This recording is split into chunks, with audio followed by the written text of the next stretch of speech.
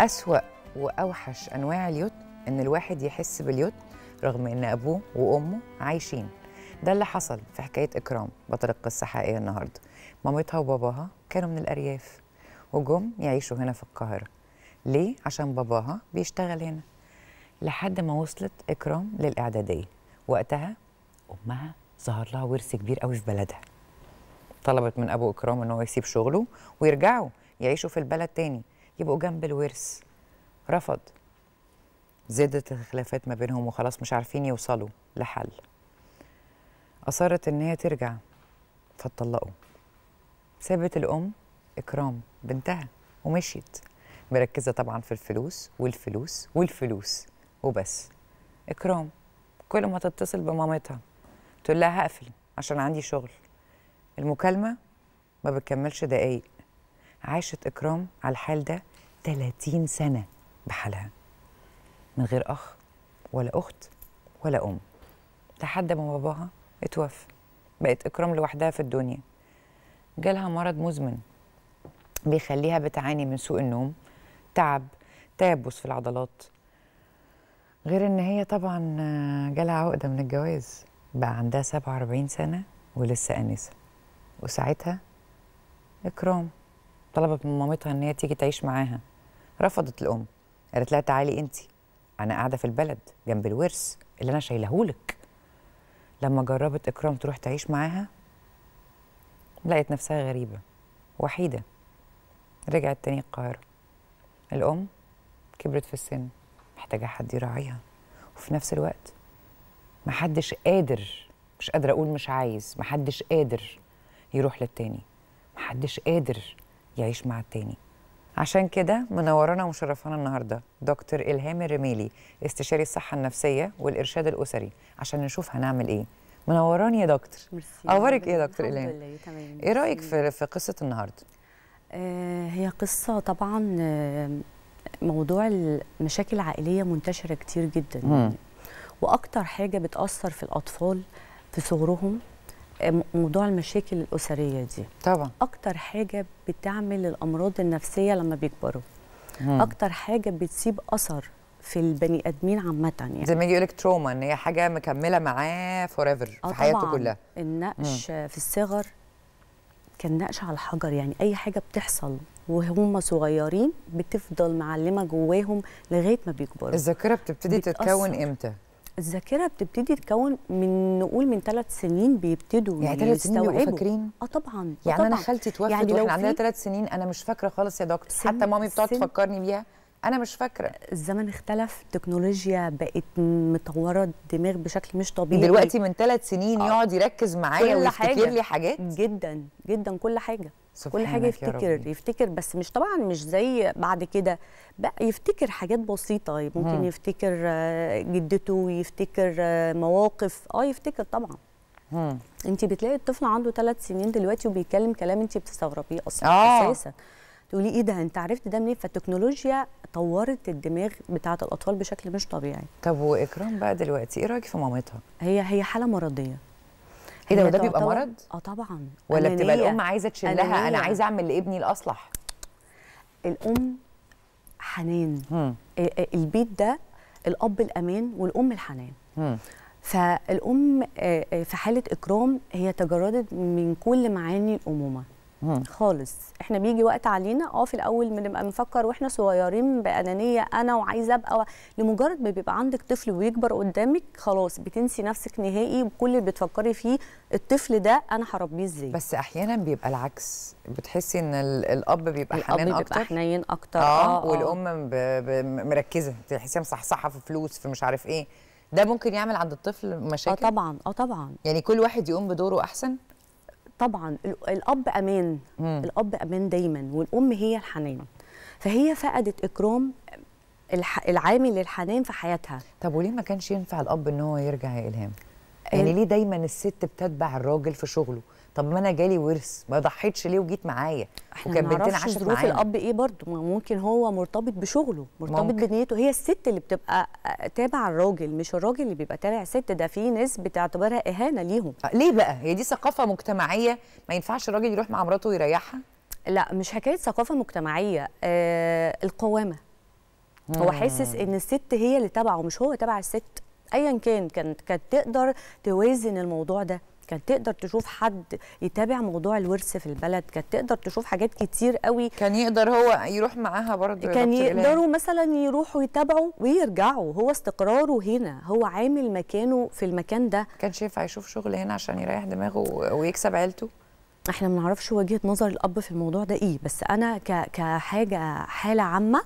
لا دايما الست هي اللي بتتبع جوزها مش الراجل هو اللي بيتبع مراته. بيعتبروها إهانة.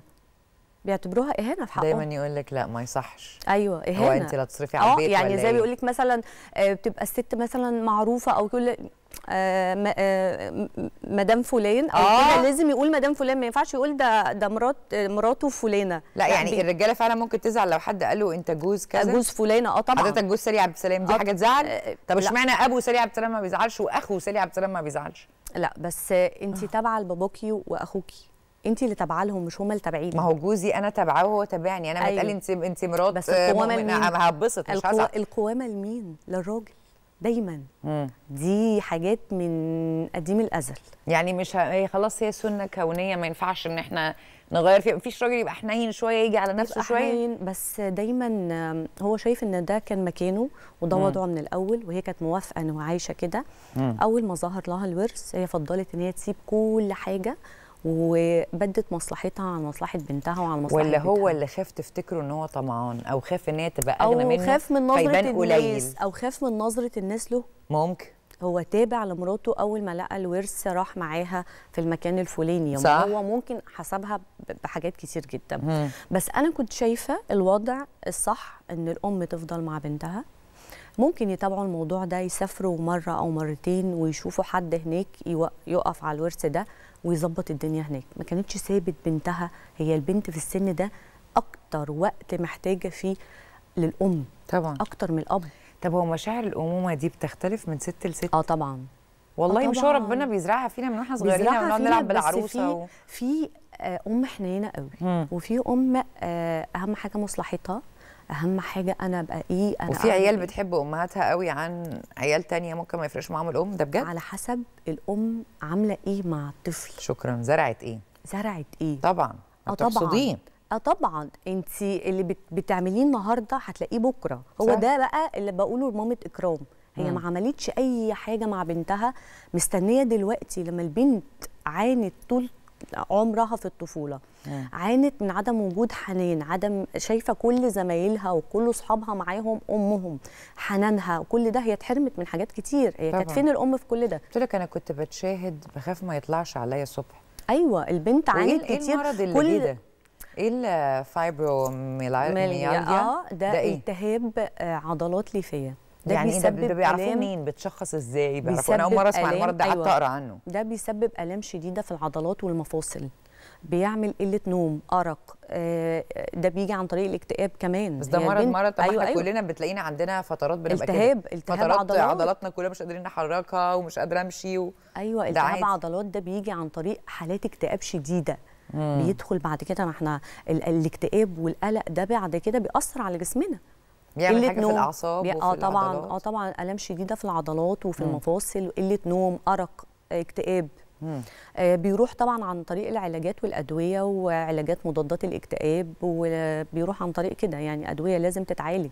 بما إنك آه، يا دكتور في اسكندرية اسكندرية يمكن كلها عارفة بعض. آه طبعا. اسكندرانية أجدع آه ناس. طبعا ده أحسن كلها عارفة بعض بتحسي إن هي صغيرة جدا لدرجة إيه قد المعادي مثلا في القاهرة آه بجد. آه ده حقيقي. شفتي الحالات دي قد إيه؟ كتير. يعني كتير. ده موجود في مجتمعنا بجد ولا ده خلاص؟ يعني ده بدأ يروح لا لا لا ولا بدأ بيكتر؟ أنا عايزة اعرف لا ده إحنا داخلين على إيه؟ آه، ما بتبقاش بنت واحدة ده ممكن يبقى ثلاثة أربعة. مم. والأم بتفضل مصلحتها على مصلحة الولاد. ولا و- بتفضل عيل من العيال؟ لا بتسيب كله. آه كله في أمهات يعني تعمل لو كده. أنا لو لو اتطلقت مصلحتي، تاخد أنا- العيال خد عيالك تسيب آه آه وتمشي. آه آه تسيب وتقول لك لأ أنا مصلحتي أنا أعمل كده ولما أنا أبقى صغيرة وما عشتش أو بالظبط. أنا محتاجة أبقى. أكون نفسي أو محتاجة. أبقى نفسي بس الأم اللي كده بقى دايما أقول لها ما تستنيش بقى من ولادك دول خير بعد كده بصراحة اللي أنا شايفاه مفيش يعني حد أنتي منهم ممكن يبقى؟ أنانية يعني ما فيش عيل ممكن يود كده. بيتعذبوا الألم اللي بيشوفوه في عدم وجود الأم بيخليهم يقسوا عليها قوي قوي لأن بيتربوا آه، يتمى في وجودها. فكل ما طفل يشوف أم آه، مع ابنها في مدرسة في في في مكان يا خروجة. في أي حاجة خلاص دي عقدة بتتربى عقدة جواهم. بيحسوا إن إنه إيه بيحس باليتم بيحسوا باليتم في, في وجود الأم. ده بيبقى أصعب من اليتم في وفاة الأم. لأن الأم موجودة و و واستغنت عنهم. ده بيبقى مم. الوجع أكبر. يعني زي ما. ما عمل عقدة لإكرام إن هي تقول مش عايزة أتجوز؟ آه طبعا. بتاعت 47 سنة مش عايزة آه طبعا. أقول لك ليه. ليه؟ لقيت أقرب إنسانة ليها في الحياة استغنت عنها. طب فاقد الشيء لا يعطيه؟ يعني هي هي مش عايزة تخلف عشان تدي الحنان ده؟ بصي ال ال ال النظرية دي تختلف على حسب الشخصية. مم. في فاقد الشيء يعطيه ببذخ وفي فاقد الشيء لا يعطيه مم. على حسب برضو هي من جواها حنينة. طبيعي الأب عرف يزرع الح- الحنية جواها عرف يحتويها عرف يعمل الحاجات دي كلها ولا لأ؟ لو الأب عرف يعوض الحاجات دي ممكن تلاقيها بس هي إن هي مش عايزة تتجوز ده هي اتعقدت خلاص. هي اوريدي اتعقدت. قالت يعني قالت لك إيه أنا أقرب حد ليا كان المفروض يديني الأمان والحنان استغنت عني. فالزوج اللي هيجي- و... آه آه الزوج اللي هيجي ده مش هيعوضني على الحنان ده وفي نفس الوقت هي خايفة من حتة الأمومة. طب ما ممكن يطلع زي باباها ويطلع كويس وسند وظهر هي خايفة من حتة الأمومة اللي ما حسيتهاش هي ما مم. حسيتش بحنان الأم. مم. مش هتعرف تدي ده لحد. أو خايفة إن يجي وقت إن هي حد يتحط في الوضع اللي هي اتحطت فيه. آه طب. مش إن هي تست... مش إن هي اللي تبعد لأ ممكن يحصل آه، انفصال آه، ما بينها وبين الأب آه، إن الأب ياخد آه، ابنه أو بنته إن هي تنفصل عن الطفل ده. فهي حتة عدم وجود الأم عملت لها عقدة عقدة نفسية مش قادرة تبقى أم. بس أنا عايزة أعرف ليه الواحد ما يروحش؟ يعني ما بيجي مثلا يقول لك إيه هنروح يومين البلد نغير جو نشم هوا نضيف آه. ناكل فطير ناكل أكل صحي؟ آه، تقعدي تفكري كده ناكل بالسمن البلدي حتى لو كانت بتخن بس آه، تبقى آه، صحيه آه. عن اللي إحنا بناكله. هي ما فكرتش إن هي ممكن تاخدها من ناحية آه، ناحية علاجية وتروح لمامتها؟ ناحية هي هي هي مش شايفة أم. هي مش شايفة أم خلاص. ومش عايزة حتى تتعالج؟ يعني مش مش شايفة يعني ان هي هي هي, هي بعد لنفسها؟ وفاة الأب هي كانت بتتحايل عليها إن هي محتاجاها. مم. والأم برضو كانت بتتعامل بغباء بأنانية.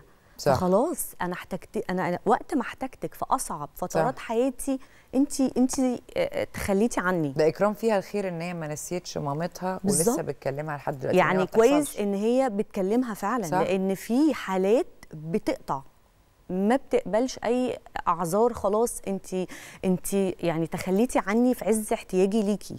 جاية دلوقتي لما انت احتجتيني عايزاني فالوضع صعب. يعني هي صعبة مع إكرام قوي وأنا صعبانة عليا الأم برضو لأن هي عملت طب كده. الأم ممكن نغير فيها أي حاجة؟ فات. خلاص. فات زمن التغيير خلاص. ما انت. دلوقتي جيتي وقت احتياجك ليها. كان الوقت تقدري تغيري. بعد وفاة الأب. كان ممكن الأم تروح تحتوي بنتها وتقرب منها وتعوضها بقى على وجود الأب. مم. ده حتى لما إكرام كانت بتكلمها تقول لها لا أنا مشغولة اقفلي أنا يعني انت مالكيش حجة. مم. ده تليفون.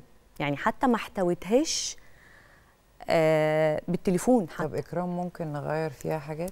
إكرام أنا لو هحب هي أكلمها. 47 هي برضو يعني شافت كتير. طبعا. يعني زي ما قالت لك عمري راح. هي شايفة إن العمر راح في عدم وجود حنان أم.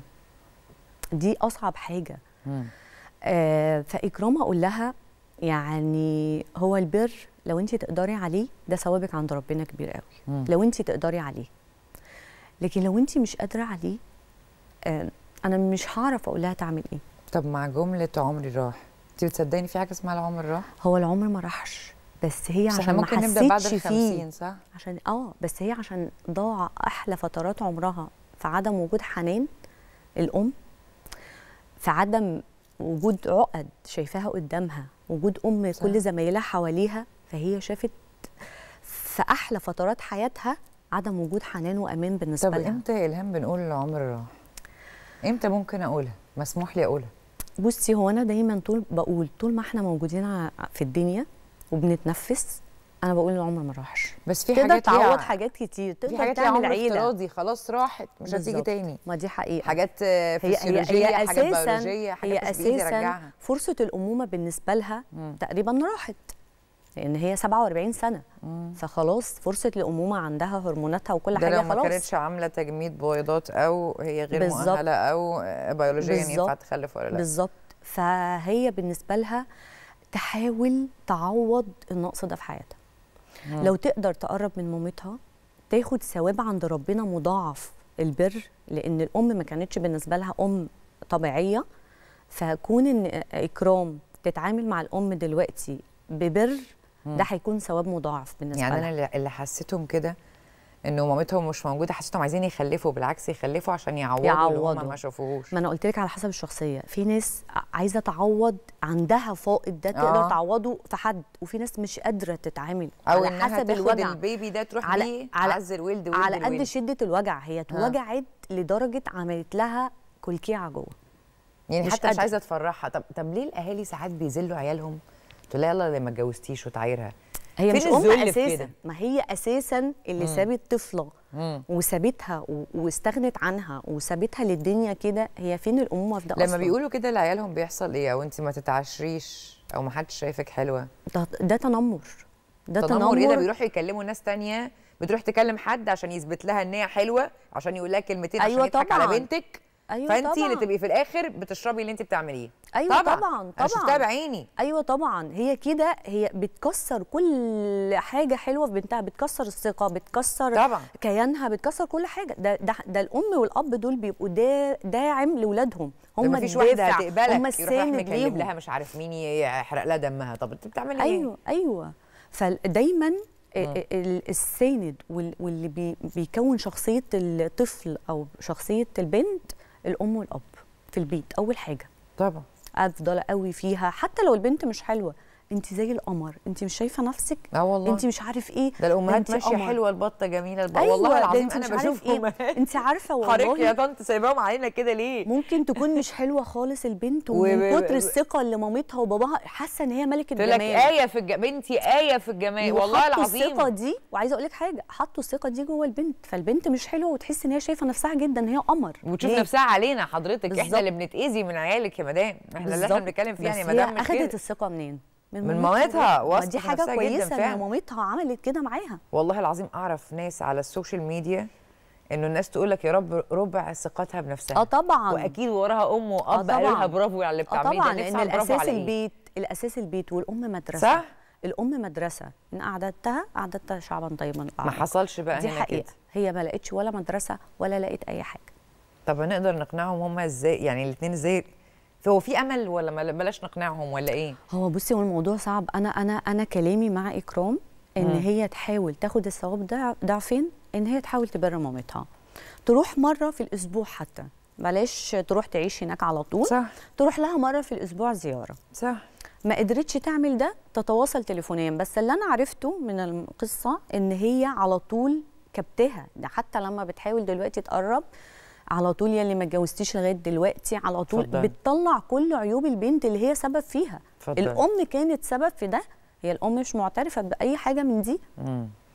فهي الأم بصراحة يعني هو م، جزائها عند ربنا إن هي عملت كده في البنت وذنب البنت دي في رقبتها دي حقيقة أنا بقى عايزة أسمع منك بقى روشتة أخيرة لكل الأمهات اللي بتعمل كده في عيالها تقول لهم إيه أقول لهم ولادنا دول أنا بحس إن دول تحويشة عمري.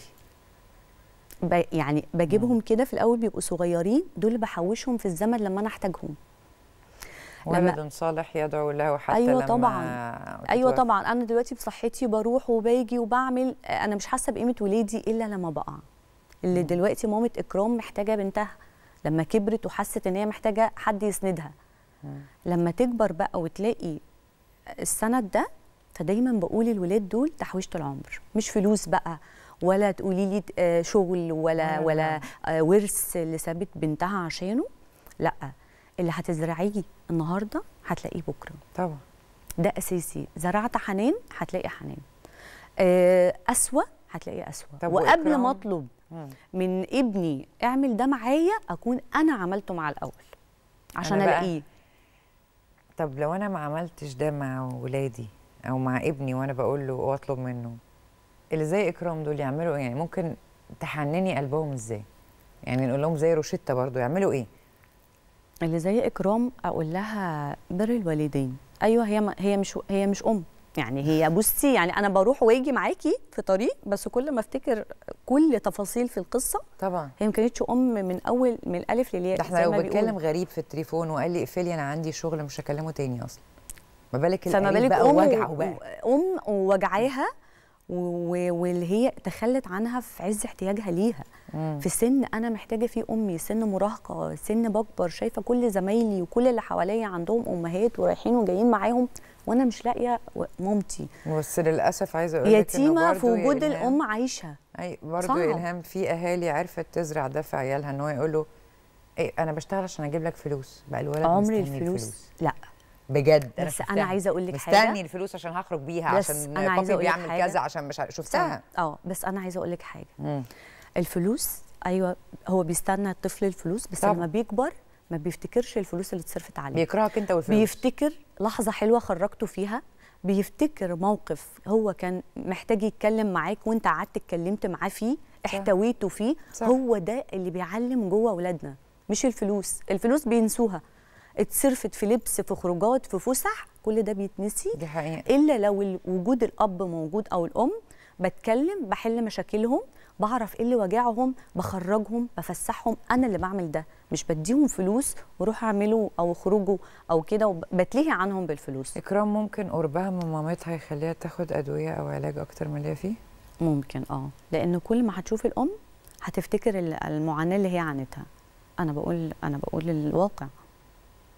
هي هي يعني على مدار سنينها هي ما حستش بلحظة حنيه من الأم. هي هي بصي هي في غربة ما بينهم دلوقتي. يعني هم عشان كده ما رضيتيش تتحاملي عليها تقولي روحي عيشي هناك. لا ما أقدرش أقول لها كده بصراحة ما أقدرش. بس دايما أقول لها بر الوالدين حاولي لو قدرتي على نفسك عشان تاخدي الثواب عند ربنا مضاعف. بريها. بريها إن شاء الله حتى بالتليفون.